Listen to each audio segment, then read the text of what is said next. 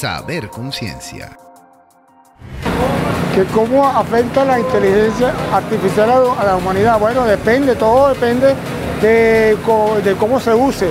Darle buen uso, por ejemplo, en el campo de la medicina es, es maravilloso, hemos avanzado muchísimo. Podría afectar a los trabajos médicos, ya que con esto la inteligencia artificial puede hacer un mayor avance, claro, puede mejorar, pero puede quitar trabajo también, lo cual sería este, una desventaja para la humanidad. Para proyectar o para usar una, inteligencia artificial se tiene que usar mucha electricidad, pues esta requiere de varias computadoras, por lo cual se puede decir que los gastos eléctricos y que los impuestos serían una gran afección para las personas y para el uso de la inteligencia artificial como tal.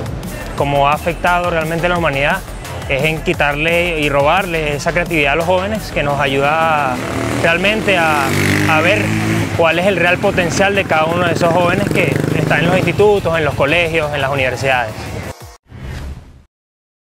Saber conciencia.